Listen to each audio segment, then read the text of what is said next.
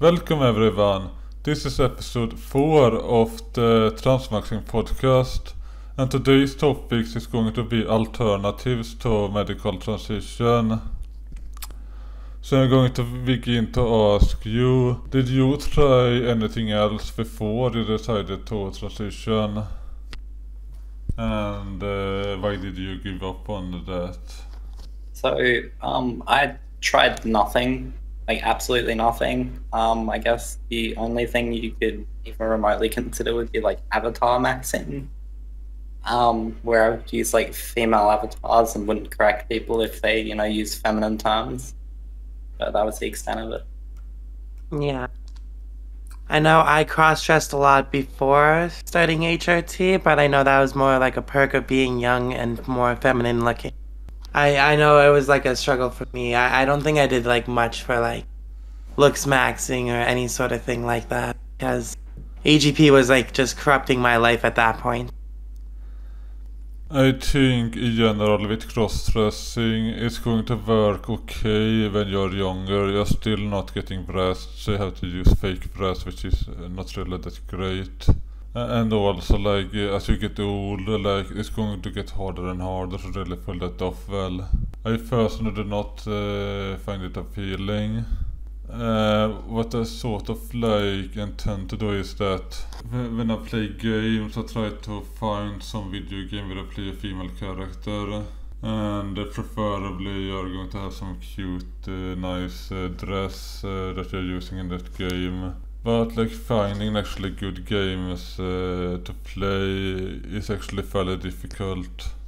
And when it comes to like uh, late transitions or even cross-dressing, like you have all seen those uh, photos. Like it's uh, not really that appealing, to put it mildly. Yeah. Yeah, there's always a time limit on cross dressing, also known as twink death. You lose your young and twink ish looks if you ever had them to begin with.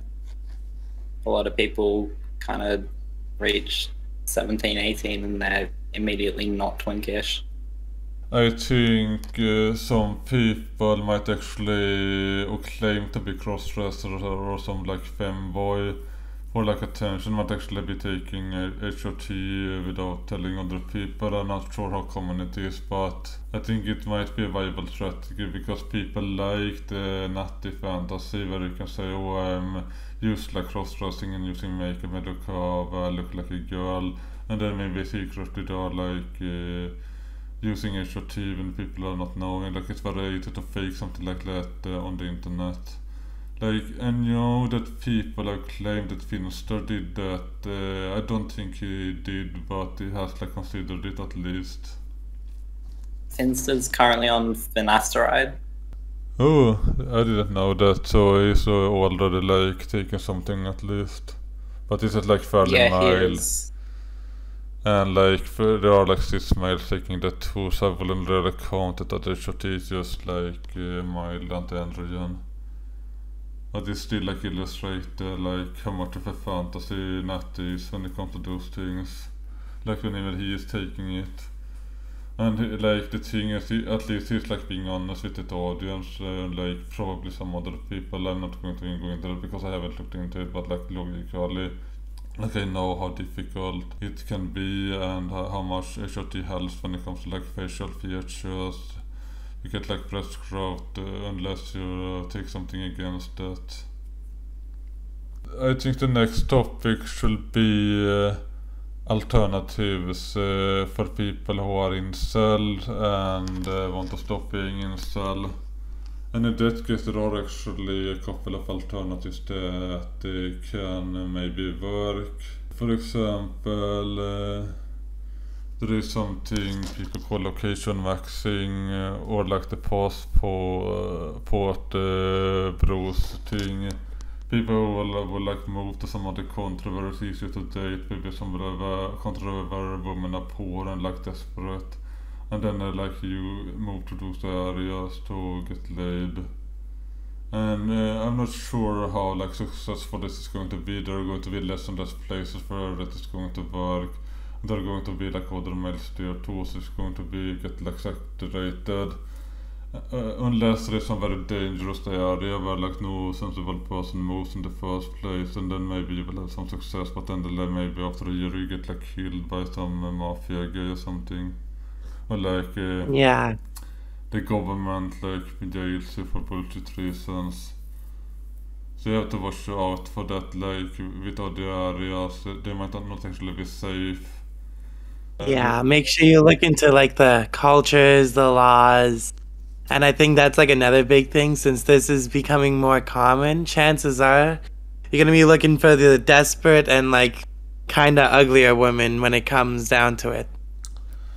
Yes, and uh, another big uh, thing you have to look into is uh, is this like a credible government that you can trust? Because there are governments who will engage in hostage di- diplomacy where they will like just jail innocent people and use them to as leverage against like uh, states they dislike or have some like uh, grievance with. Like China definitely did that, uh, for example. And they were, there were like someone given the death penalty. They claimed that uh, he had been like uh, selling drugs or something when it was clearly bullshit. I think something that can actually work very well but uh, terms of failure status maxing as a male. And even then it's not guaranteed. There are like example of like high profile males who remain in cell. For example, Christian I'm not sure if he really get got that much status. It was more of an online thing, but still, I guess not like he got a girlfriend uh, because of his like uh, online fame. I think the other part about status as well is like there's like minor confidence boosters that will probably help it so then, you know, it makes you look a bit more like attractive to these women, even if it's like subconscious things that are like making you feel better. Something to consider as well is it's probably the most difficult out of all these things we're going to discuss. Status isn't always that easy to get. And I think a lot of status uh, is going to be look determined. If you don't look attractive, it's going to be harder to gain status. Like especially today online, like it's way harder to get a YouTube following if you don't like look good or like maybe you can use some avatar, but then you're not really advertising yourself. So like if you're some ugly person, uh, gaining a following is going to be harder. You might still pull it off. Like, yeah. Apparently Dream like went and showed his face after the avatar and apparently got like a lot of negative reception. I think he got some positive reception, but I don't know from who and what, but that can be like a kind of like thing to think about as well as people may like, you know, definitely be disappointed in how you look if you use an avatar. Yeah, absolutely. Yeah, I've heard reports of people um actually doing kind of the inverse of that, where they take their worst photos and put them on like dating apps and stuff, and then so that creates like an expect a lower expectation, and so when people actually meet them and they see that they look better, um, it changes someone's like view on you. Yeah, I think one issue with the strategy is that if you actually try to pull that, you might get like zero matches on Tinder. So, if your worst photos are really bad, you're not going anywhere in the first place. I know the like really popular thing with this like tied to status maxing is money maxing.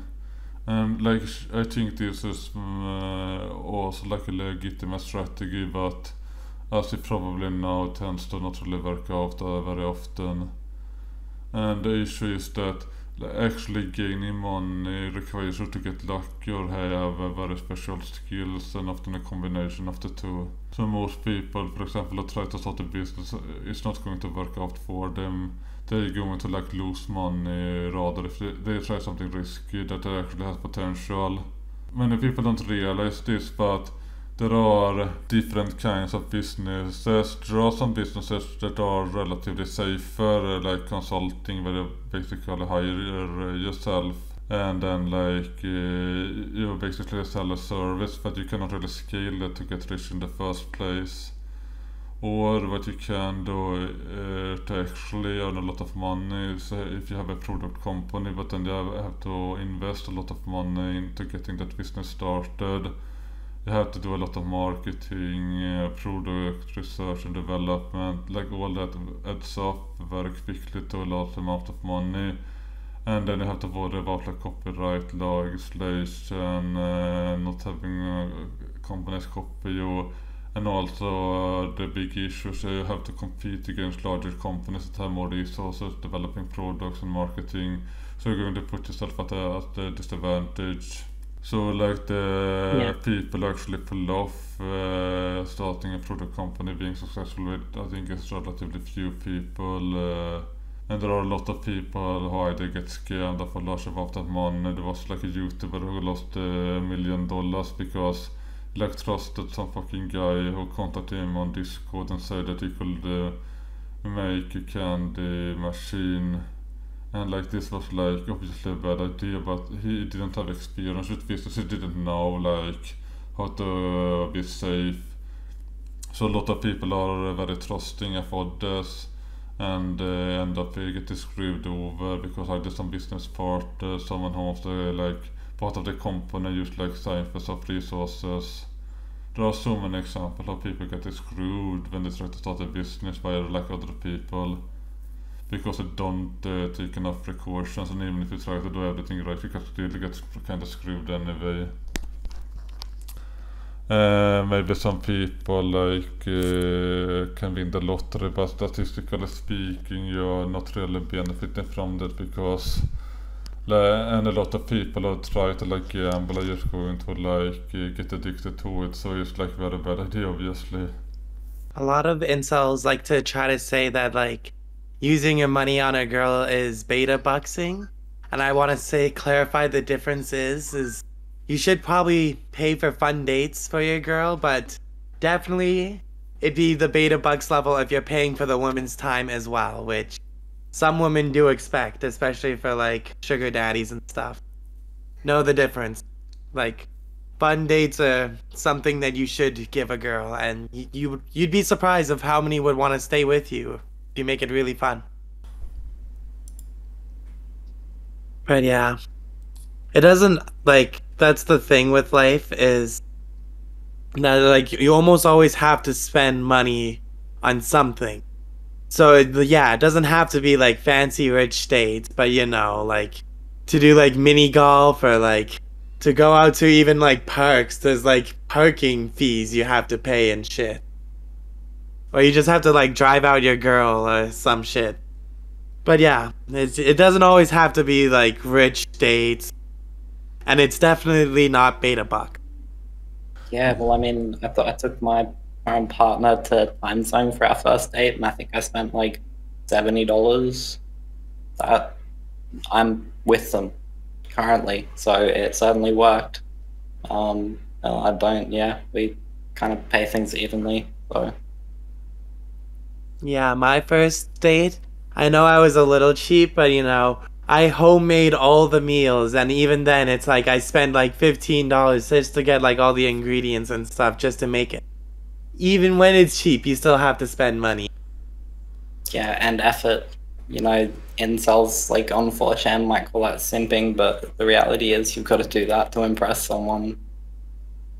Yeah, she loved it. I made three different kinds of sandwiches, and she loved every single one of them. Nice. And I'm I'm still with her now. It's been two years with my partner. so it certainly works.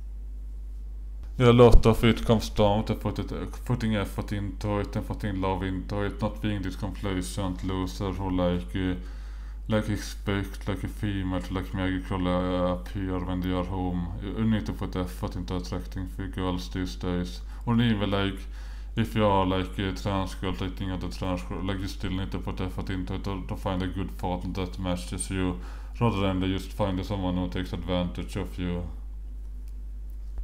Um, don't be afraid to spend a little bit of money because you can make like you can make like a long exciting date and yeah it might cost like exactly that $70 but it'll be a good time that they'll always remember and this women do love like the first time they meet and like have a special date with someone i agree with that And you're also spending money to have a good time yourself. Like a lot of people don't think about that, but you know that you're paying to have that good time yourself. I think that isn't this what life is about? This is about having these like great experiences. It's not just about like being successful. Like at the end of the day, you want to like live a great life. You experience great things. And like um, if you use your money for it, I think your money is just well. And yeah, exactly. You can save your time with anyone, especially if you're doing these special dates, because it's liberating being single and you can. It's exactly that.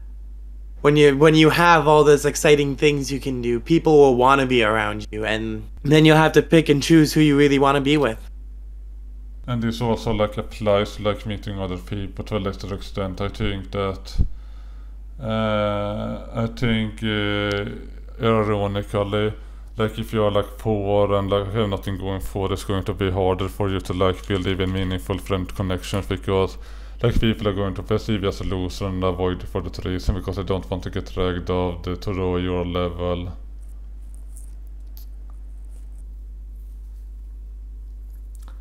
I think you know the Rust another aspect have having money that a lot of insights overlook is if you show like economic success, this will like indicate to the female that you're that you're competent and like uh, not a total loser, and this itself will have value. So like even if she doesn't get any of your money, she will maybe still prefer someone who is like at least decently successful.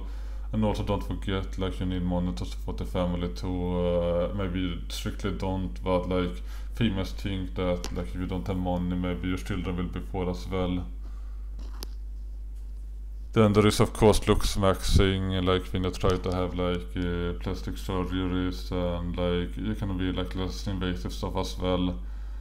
And I just seen like people improve eh, uh, with looks maxing uh, where it actually can work. In my case where I think it's hopeless, but like again I don't think it's going to work for like most people are currently struggling dating. A big one would probably just be the simple of don't be like super obese, and you'll probably look decently better than usual. A Yeah. little bit of muscle as a guy is probably necessary. Yeah. Like you, gym maxing is definitely valid for a lot of people. You know that if they're average but you know small, they're going to be looked over a bit if they're average. But you know, obviously take care of their body and eat well. Uh, there's going to be a big difference in the response from women. Yeah, I agree. A lot of women definitely do want like a stronger man to like feel like they can protect, uh, feel protected.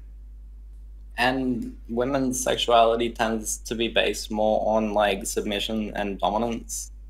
Yeah, they want uh, to feel like small and the males being in control. And they kind of get turned on by like this masculine uh, guy dominating them. This is very common among like cis females. So if you like show that you are like have decent muscles, it itself like attract many females. It's not the only factor obviously, but if you show that you're confident, that you have your shit together, you have are like strong, like uh, it will like trigger uh, sexuality. Because they like like being feminine and uh, dominated and stuff. especially if it's just something on top. You know, if you if gym's all your life is about, then that might not be that attractive. But it, you know, if you're rich or if you're you know if you've if you're interesting, if you have whatever, eh, and or also have a bit of muscle about you, that will be very attractive. Yeah, absolutely. So, rather than just doing one thing, if you do multiple things like improve your life, like get a better job, uh, like improve the way you look, uh, uh, do some weightlifting, and it is, it isn't even expensive. You, you can like li- weightlift at home if you want to. Like all these like things all together they can make a huge difference and allow you to at least find someone. So I absolutely think uh, there are alternatives. I think a lot of people who currently struggle dating don't want to put into all that effort. And uh, ironically, despite what some people think, transitioning can actually be a lot easier. Because for some people all they have to do is just like inject estrogen and that's all they really need to do. Eller eh, även Fifa people talk about like all odd ref. Att det är... this is maybe like voice training that can be difficult, but like other than that, like when it comes to like looking good alltså as a trans female, is more about starting early enough in life, and rather the or having like expensive surgeries to try to compensate for that. Like it's not that uh, oh I'm trying harder now, so I'm going to pass easier with my face because. Uh, I'm like putting so much effort in. This is not how it works when you transition. You are not really in control over it. I'd say it's good to have a positive perspective on it. But yeah, there's not much control you have after that.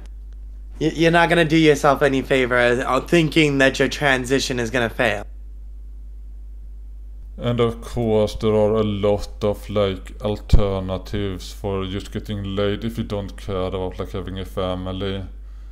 What if I'm being real? I think a lot of incels, even if they don't like admit it, they just not want to get laid. They might actually want a family. Which is part of the reason why they don't find like transitioning appealing because transitioning isn't really that effective for like reproducing. So, for example, like buying sex from a sex worker, usually this will not lead to like you making her pregnant and uh, she having a child. It can theoretically happen, but it's very rare.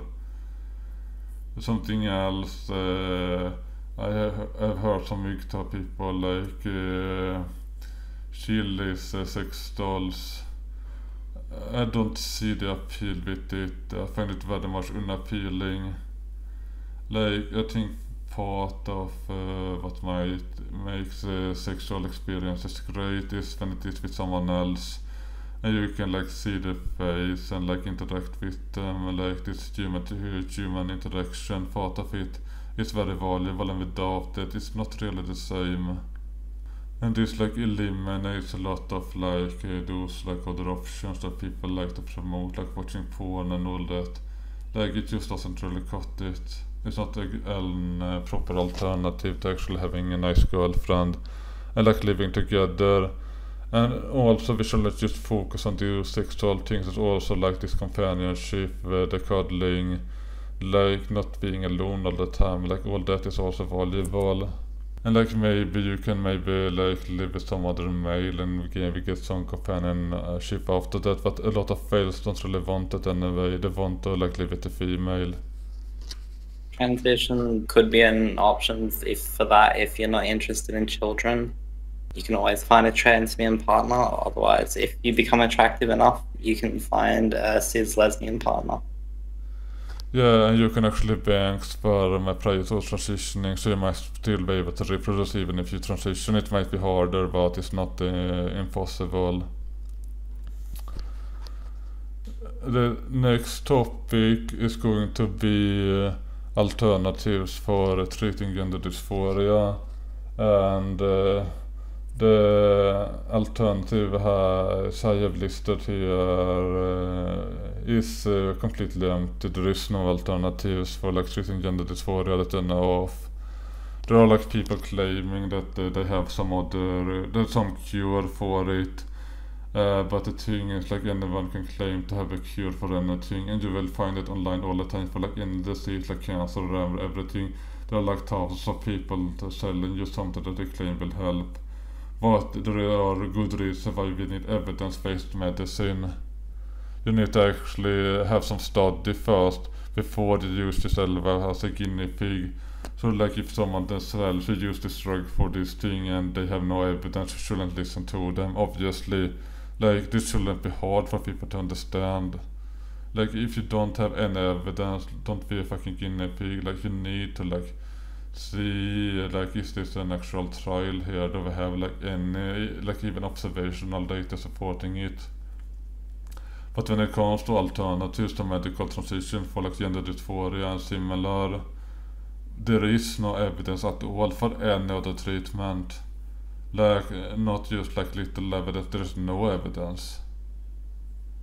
Yeah, there's only like ways to cope, like using avatars and like you could even like voice train and like make like animations of like how you'd want to look and stuff. Like especially if you're like a YouTube creator, that'd be like creative outlooks of like dealing with your gender dysphoria, but it's it probably won't cut it.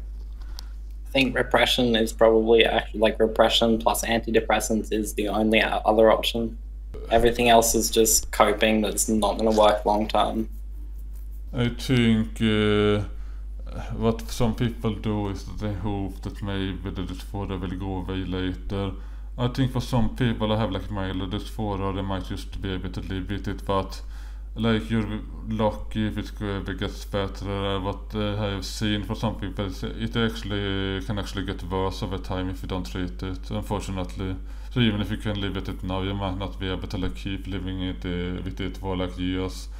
And also like the thing is like even if it isn't too bad living it uh, with it for like a month or a year, like living it, it for like. Uh, uh, 60 years or uh, like until you die like a lot of people will eventually break and uh, start like transitioning way later in life and uh, they cannot exactly pass and this is what often happens with people who try to reference it at the end of transitioning anyway because they just cannot handle it anymore like for a while they could like endure it but like over time it can sort of break you.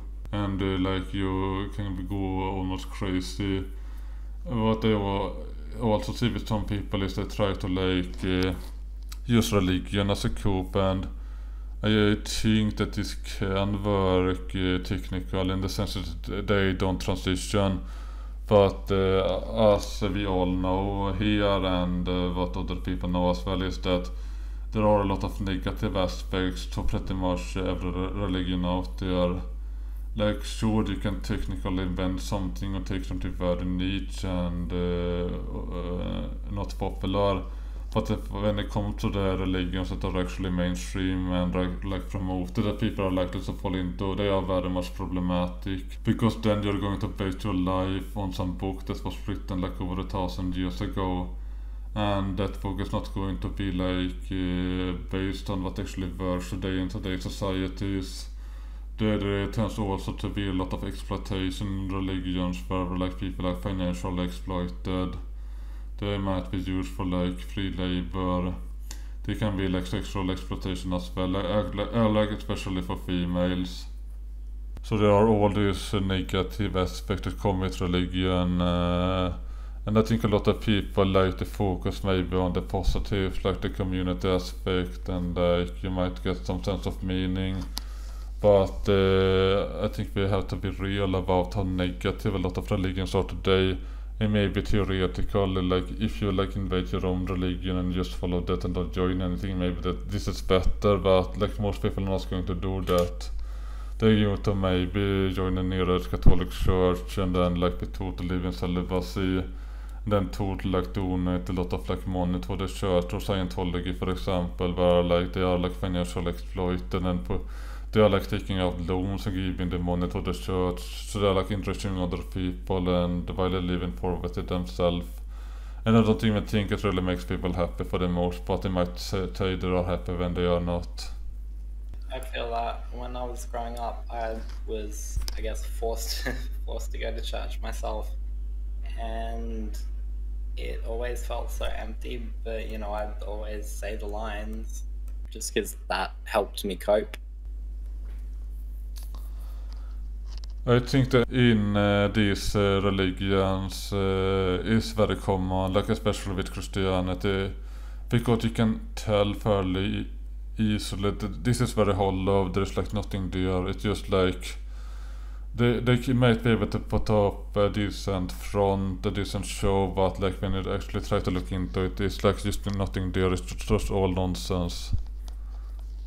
Yeah, I was I was like a teenager and it was like the most boring thing ever at the time. And like even my brothers were like all distracted. Like we did not give any shit about what was happening. It was like yeah religion's really bad and like a lot of people join religions uh, let's not forget that they're often indoctrinated into it by the parents. Like there are not actually that many people who are like converted as adults. These days uh, there is like you're like telling a child from early age that like unless you do what they want they're going to like be tortured in hell. And that's uh, like they're like uh, scared and like uh, abused into like believing this nonsense. It's really sad that america has like a lot of this like ingrained into their like society this religion it's kind of sad really Yeah, and because of that, a lot of people might uh, turn to religion when they are going through some tough time. And like especially Christianity it tends to be very much problematic, uh, at least for the most part. Like I'm not familiar with all churches. Maybe you can find some less bad one, but like Christianity as a whole is fundamentally flawed anyway because it's not in a solid foundation. Like if you have some like spiritual beliefs that are not tied to that like old books and everything, that then maybe something better, but I think it's best to spiritually forge your own path and not try to follow and conform with everyone else. yeah, absolutely. Is there like any other like alternatives you can think of for like people who have like dysphoria or something? I mean, I, I guess it's like similar to like inceldom, where you could try to do some sort of monk moding where you just focus on like anything else you can value in life and like truly appreciating that to try to forget about like whatever else that may ail your life that causes you suffer. Yeah, I think that might not always work and like I, I think in a way it must be easier to like repress dysphoria when you're like a total loser and nothing going for you. Like if you just live on welfare, don't have to do anything. But uh, I have actually seen example of that and experienced that myself that like when you actually try to do stuff that, like dating and uh, like when you meet her like in real life like yeah I might actually experience first dysphoria because of eh, eh, uh, uh, then you suddenly have to like perform masculinity and do these like masculine things that you didn't really do before so like you might actually get worse and more dysphoric if you try to be su- successful when you have like gender dysphoria in a way which is a bit ironic. Guess that makes repressing it easier if you've already got like a reasonably successful life. As long as you're not performing the social roles of a male, I can agree, yeah. I think the issue is that uh, often in order to be successful as a male you need to perform those social roles and expectations. Yeah.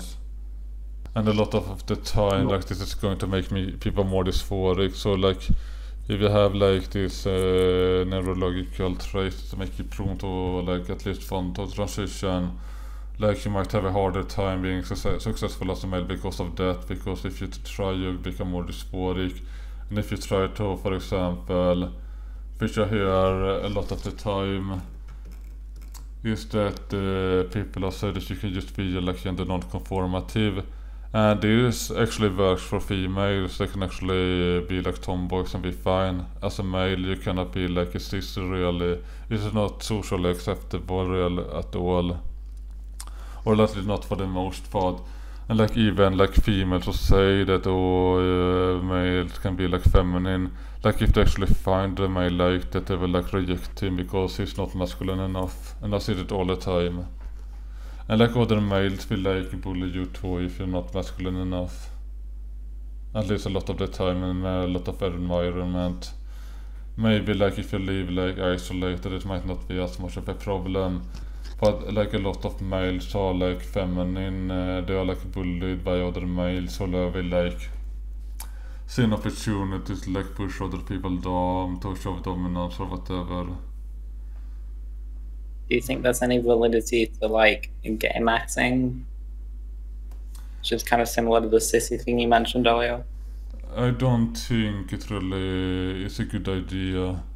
Like, uh, for one, like you're not really going to get a good sexual experience from like going gay if you're not attracted to men in the first place.